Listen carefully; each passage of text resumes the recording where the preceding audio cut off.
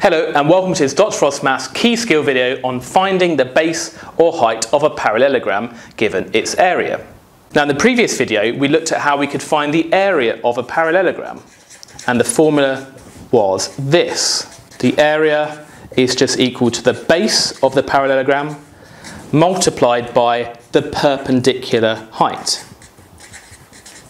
And what I mean by the perpendicular height is if I drew a parallelogram here, if this was the base down here, then the perpendicular height is the height of the shape that is at right angles to the base. So this would be the height here.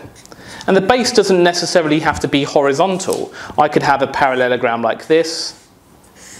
And then if this was the base here, then the perpendicular height would be the line which is at right angles to this base. So this is the base, at right angles would be this perpendicular line here, and that would then be the height.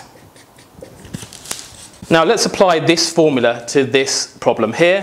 We've got a parallelogram, it's 40 centimetres squared in area, what's its height? Well, if we make this the base, and this the height, and let's call this height, say, h, just to give it a letter then the base, which is 8, times by the height, which is h, is equal to the area, which we're told is 40. And then we ask ourselves, well, 8 times what is 40? Well, we could do a division to work that out. It's just going to be 40 divided by 8, because I've divided both sides of the equation by 8